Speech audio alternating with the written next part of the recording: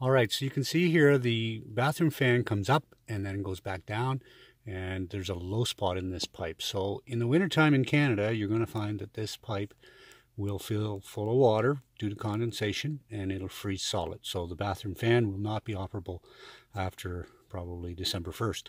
So uh, I would recommend always running the pipe uphill and with no low spots. So uh, you, you, can leave it like it is if you want, but I can tell you right now it's going to fill full of ice if it's used very much. And then you will find that your bathroom will be full of condensation and potentially even some spots on the ceiling because you're not removing the moisture from the house.